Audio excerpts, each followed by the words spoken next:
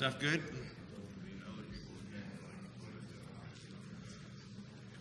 One minute.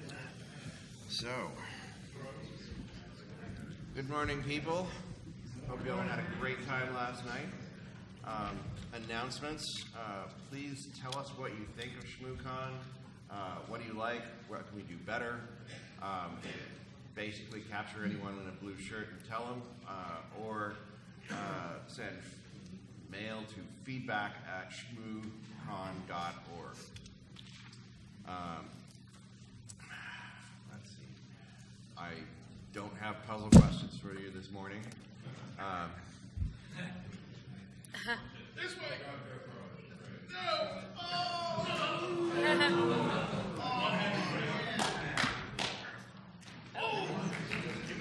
I got some distance. Ky- Kyle and Madison are going to talk to us about uh, embedded device vulnerability analysis with Trommel.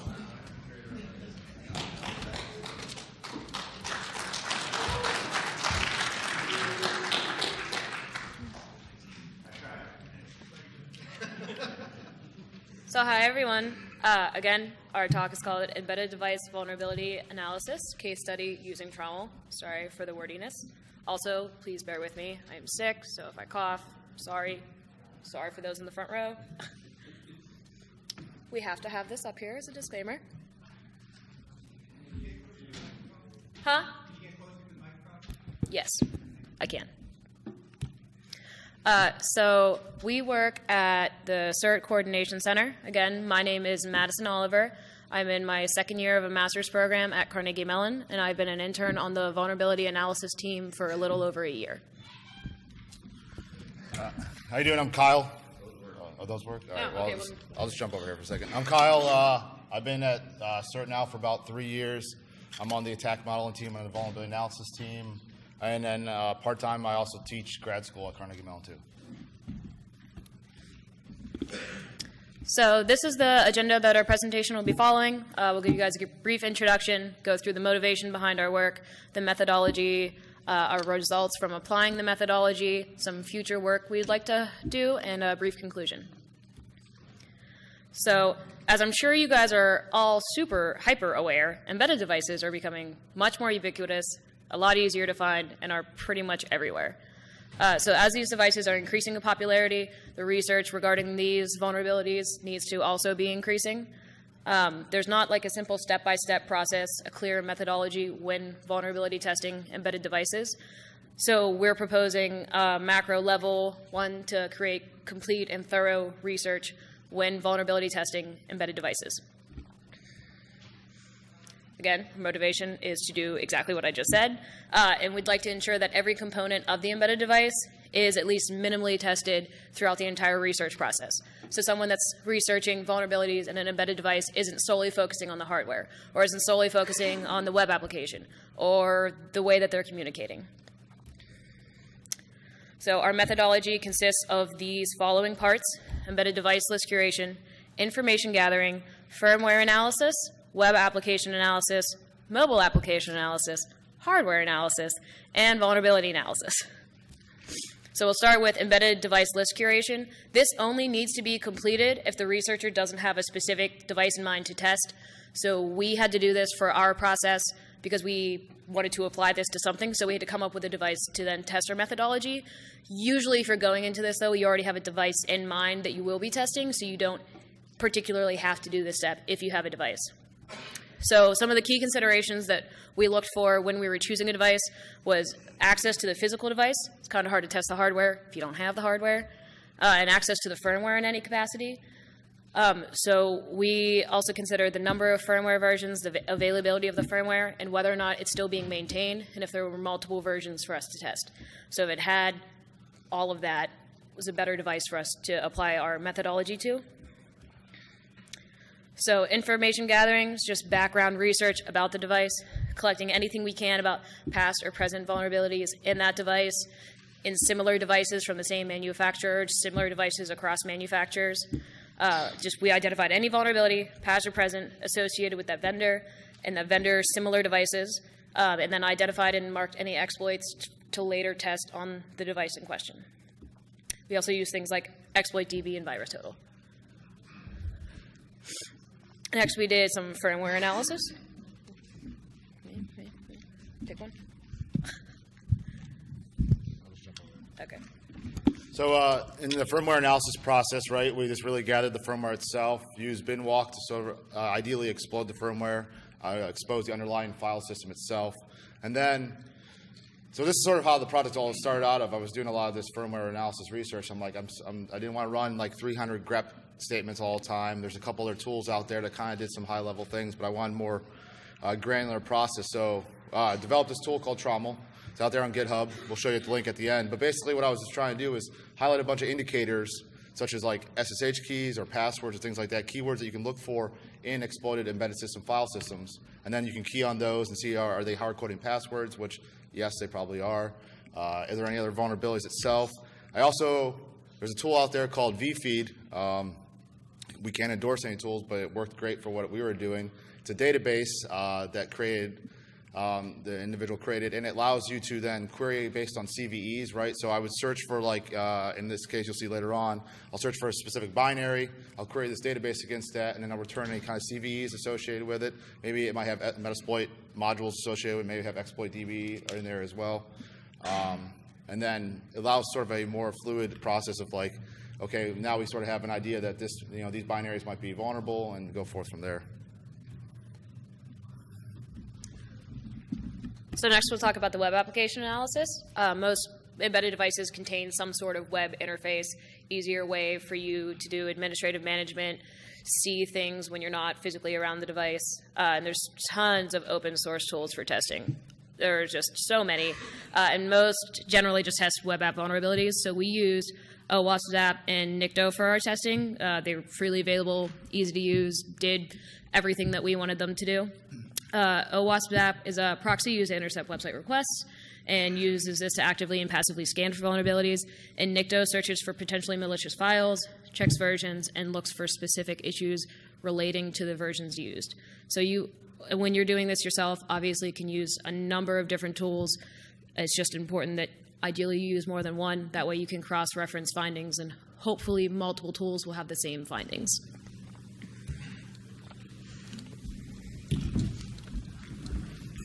So in most cases, with any embedded device, you hope there's some kind of mobile application, right, that you can look at, right? Uh, we uh, happen to look at just the Android apps themselves that we're able to easily get from, you know, Google Play Store, and uh, from there we just use APK tool, uh, AK, APK tool to then like kind of explode it, right? Uh, show the underlying source code and any other text files associated with it. Then I would just run Trommel against that tool to hope to find similar findings based on the indicators I was looking for. You know, is, is, it, is the APK itself like hard coding passwords, is including passwords, is anything of interest and things like that? That's also you. and then the next step we thought we'd take is that I think that you know in the process we should look at hardware, right? Uh, what I mean by that, um, you know, because everybody's going to have different level experiences looking at hardware. So the first process is like just kind of identifying what's on there. There's lots of information on the, the case itself.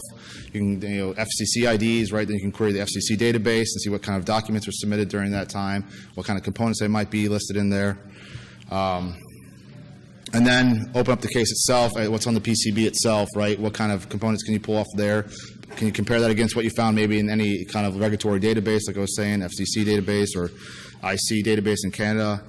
Um, then attempt to try to dump the memory off that device, right? Usually on the back of any of these devices, they'll say like, oh, it has firmware version, blah, blah, blah, included on it already. Uh, based, and then uh, the most updated version on the website might be a later version, right? So kind of, kind of do kind of cross comparison that. Can you extract the memory itself? Once you extract it, can we then uh, actually use binwalk to exploit it, show an underlying file system, or is it just like a zip file itself that just contains files? And then compare the extracted components to what was on the, you know, what kind of firmware was out there, like what, how common is, is the, what files are in the firmware itself, so what, you know, the newest version of firmware out there, what's on there, um, cross compare that firmware itself, or the, actually the files themselves. And obviously, the entire point of this is to do vulnerability analysis at the end. Uh, so we broke this down in two different steps. We reviewed the firmware update for the patches that they've uh, later applied, These are usually found in the release notes, and they weren't uh, extremely difficult to find. This was to see when and if vulnerabilities that we found were fixed. So if we found that there was a vulnerability in it, we could pinpoint exactly which patch it was, if it was fixed, test the device to see if it had the fix, or see if it was never fixed. And then we tested actual exploits against the device.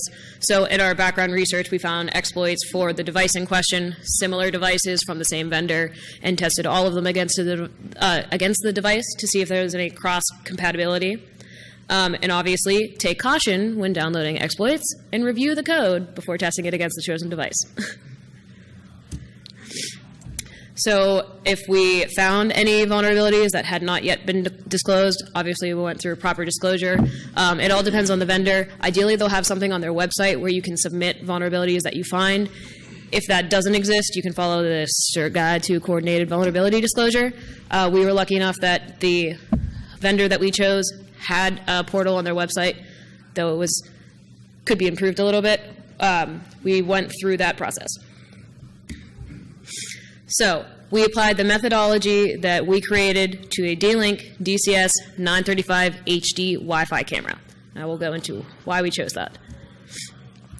So we compiled a list of nearly 300 different embedded devices, and we chose D-Link because their firmware was readily available. You can download the firmware of any of their embedded devices online, free, super easy to find, and they have all of the versions available. So we tested the five different firmware versions that are currently out for this camera, 1.04, 06, 08, 09, and 10. So did a significant amount of background research on this particular camera. Found 16 different vulnerabilities corresponding with CVEs, vuln numbers, Metasploit modules, and exploit database uh, exploits. There are not currently any vulnerabilities for that camera. So everything we found were other similar HD Wi-Fi cameras made by D-Link, but not this particular model.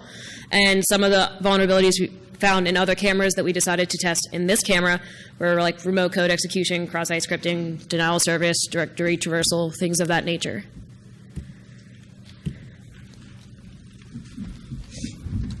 So, uh, doing starting with the firmware analysis, just wanted to look at the newest available firmware there was out there. So, obviously, just use binwalk to kind of explode it. Uh, luckily, it did have an underlying file system, Squash FS, right, which is a typical uh, use of file systems in embedded devices now. It's not the only one. There's a few others out there. There's a few that exist are no longer supported, but people still use them in their devices.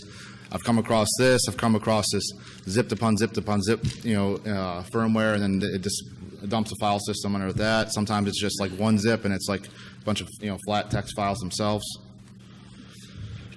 And then once we uh, extracted that, I ran Trommel. Uh, we'll show you a little demo. We didn't mention we're going to do a little demo later. Demo in a sense, I'll show you how it works real quickly. Um, but running Trommel, I came across two files of interest, right? I call them files of interest, right? Because they kind of uh, allow you to do more exploratory research then. Like the information in there I thought was uh, more product information that should have been left in the device itself. Uh, in this case, it's just a Wi-Fi camera, but you can think of, uh, you know, in a case if you're looking at satellite firmware or, you know, airplane, you know, Wi-Fi hotspots and things like that, the information they're leaving in there, I felt allowed us to do more information gathering and could lead down more paths of more vulnerability analysis. Additionally, I found uh, old version of BusyBox. Now you're saying, how did I do that? Well, that's where that vFeed uh, component that I integrated into the Trommel works, right? So I was able to I pull out specific binaries and I query them against the vFeed database. In this case, the version that we had is an old version at the specific time of research. So this research goes back to uh, end of October-ish, right? So at that point in time, it had a vulnerable version of um, BusyBox. And then these, and then the BusyBox itself had three CVEs associated with that uh, that version.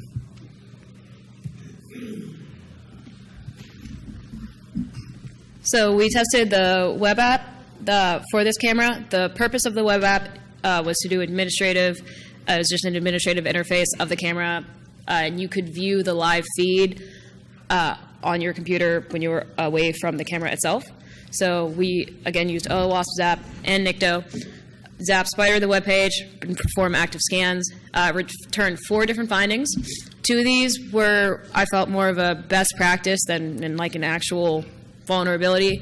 Uh, the XSS protection wasn't enabled in the browser, and the X content type options header was missing.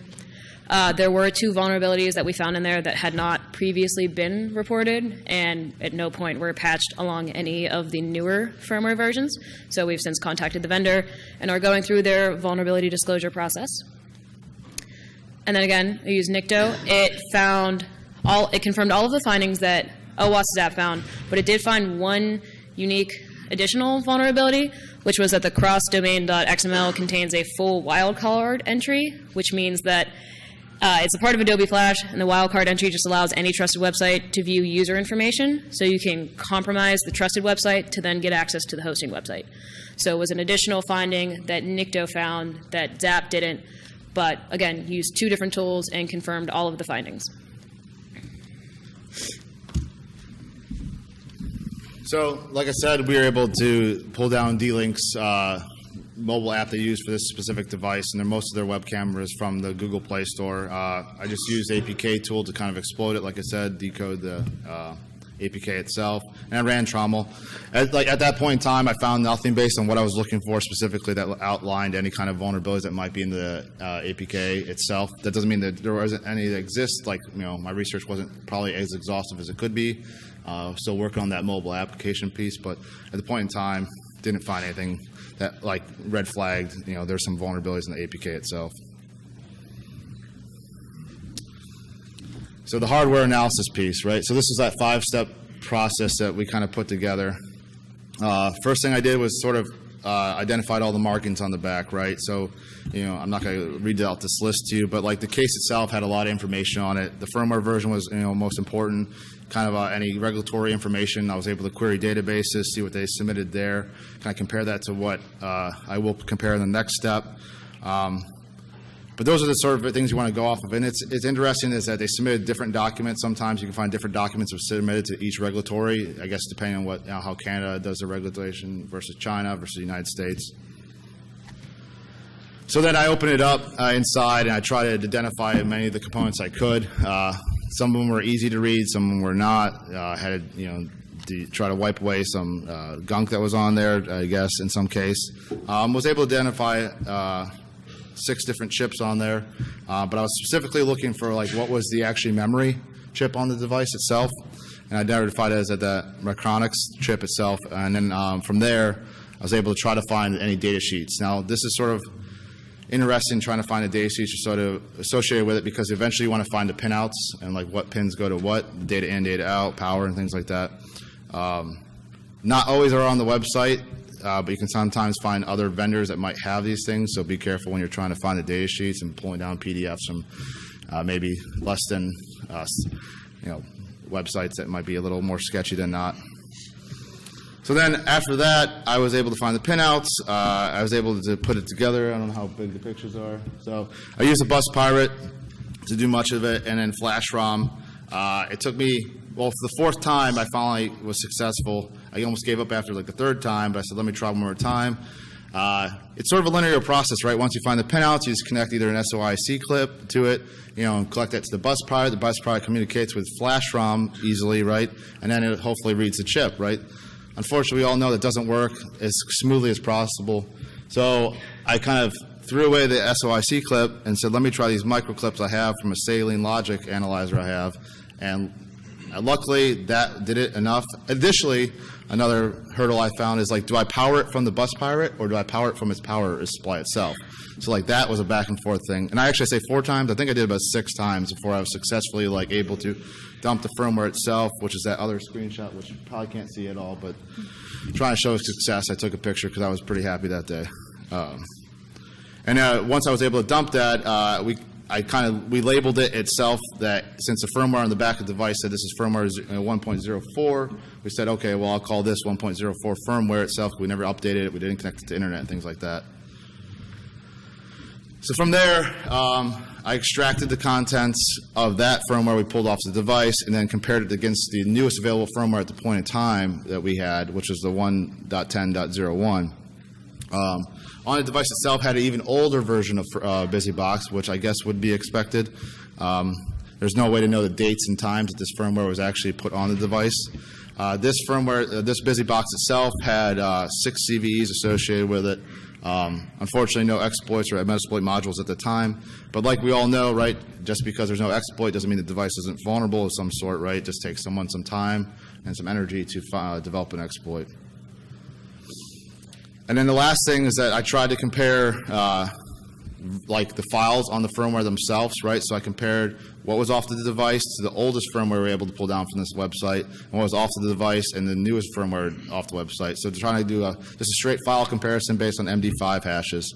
The idea to see sort of how much of the files are changing from firmware to firmware, and uh, luckily, based on the percentages and just doing a simple sort of you know comparison, that they seem to be updating their firmware. There's not much uh, information that's like remains stagnant from firmware to firmware. However, shared object libraries seem to most be most common, right? Uh, we're doing some other research. A colleague is doing some other research right now looking at library files, right? So if you find a vulnerability in a, a library file and it's used across all your devices, well, then you're going to be kind of affected there, right, across all your devices. So uh, that's, you know, can be a future concern if someone signs something in a library file.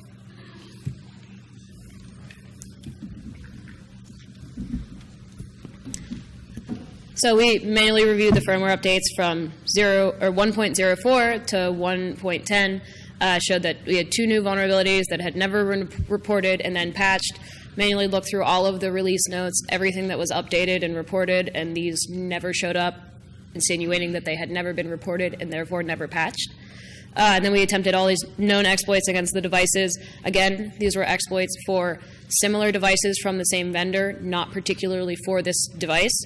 So they did not return results. Uh, but it's not. It does not mean that that device is not vulnerable. It could be that that ex exploit does not perfectly cross, and that something minor could be adjusted uh, so it would work. Uh, and again, we're following the process outlined by the vendor. They have a disclosure page. It's fairly easy to find. They uh, have still not responded to us, so we are going through the CERT Coordination Center process at this point, and will ideally have those vulnerabilities disclosed to the public very soon. Uh, some future work could include applying this methodology to other devices. So our goal was to create this methodology, and as a case study, we applied it to one single device. We would obviously like to apply this to other devices, other embedded devices, other cameras, other things that are not cameras, um, and any other vendors as well. Um, our analysis environment also could have been a little bit better because we had some trouble setting up the devices themselves. We were able to, but it was quite a process. Uh, and we can include, include future phases into this methodology. Uh, we could include, include radio frequency analysis, advanced hardware analysis, and binary analysis of ARMS and MIP files. So some devices might have additional capabilities aside from Wi-Fi. They may also have Bluetooth or RF. So there would be more or less other modules you could add into the methodology to ensure that your results are thorough and complete. So, as a brief conclusion, before we go into the demo, this methodology was created so we could have a universal, holistic, macro-level approach to embedded device vulnerability analysis. Uh, we wanted something that other researchers could follow to create more comprehensive and actionable results. Uh, we tested this on a class of embedded devices. It was a Wi-Fi camera. Uh, we found vulnerabilities that had not yet been published. And we developed an open source tool, Trommel, which is available on GitHub. The link is at the end to aid researchers in embedded device vulnerability analysis. And we expect the methodology to not only expand with future work as well, but with the evolution of embedded devices. This is our contact information. The link to the published paper is there, along with the link to the GitHub for the tool. And Kyle's going to launch into a demo now of Trommel. So I'll, I'll come back to this, right? And uh, and just to kind of piggyback on Madison saying, it's like we know this is sort of like a incomplete process, right? There's lots of things that we said with the future work, right? And the idea is to kind of outline a sort of a process that people can follow and then throw in what they want to throw in there. You know, perfect example I can think of yesterday when I look at the uh, that IoT R, RCE talk the Disney stuff, right? She was she mentioned she like ran a bunch of grep you know scripts to find things. I'm like, well, you can use Trommel to help you assist you and not write all those grep scripts and things like that. Um, and we know the process. Like we didn't look at any of the binaries on there specifically. That's something we want to do in the future. But like we want to do something out there that uh, kind of hits like the middle of the road. Anybody can kind of do. Like you know, doing you know, ARM analysis is probably more advanced for some people than other people. Let me go ahead and stop this real quick, and then I'll come back to the, the uh, links and stuff like that if anybody want to write that down.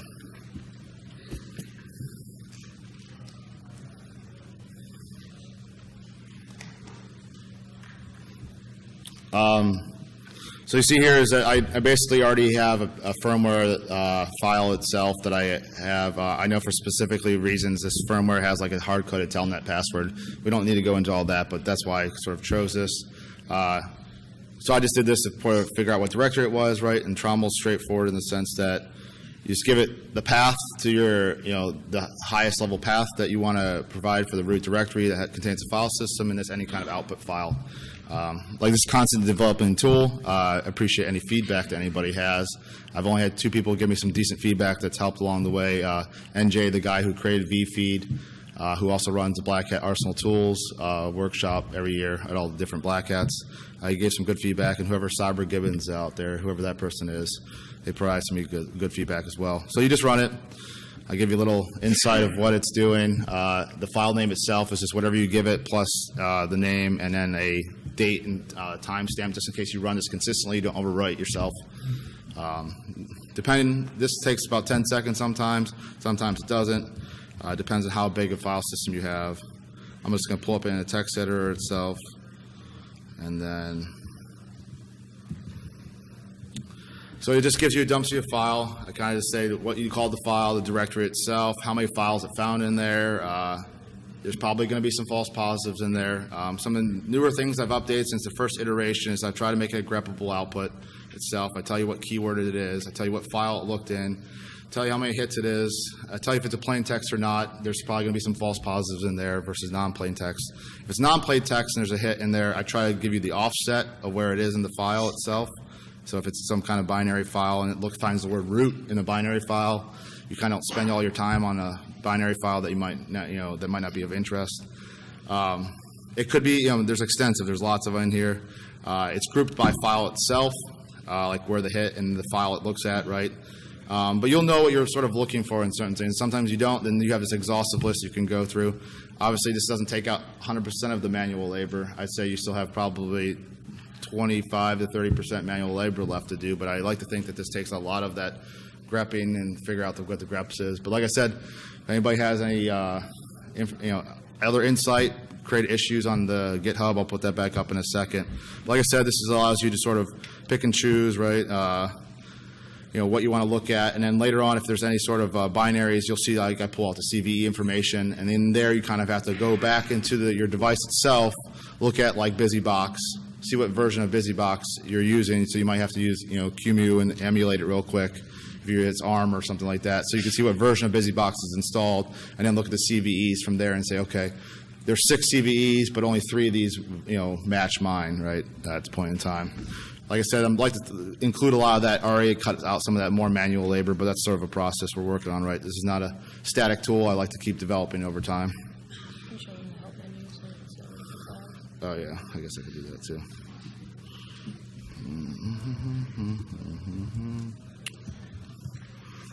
So yeah, it's really all you have to provide it is just a path and an output, and that's really it. Um, let me put back up this last slide.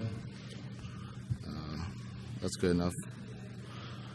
So that's it. Uh, I know we went a little quick in time, but uh, hope you guys enjoyed it. Thank you for staying around on Sunday, and uh, any feedback you have, like I said, we greatly appreciate it, and uh, we'll take questions.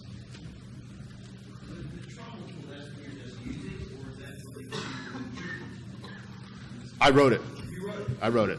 Yeah, I wrote the whole thing, and then uh, I've gotten feedback, but no one's actually like. I mean, I think people forked it off, but I, I actually wrote it myself. Yeah.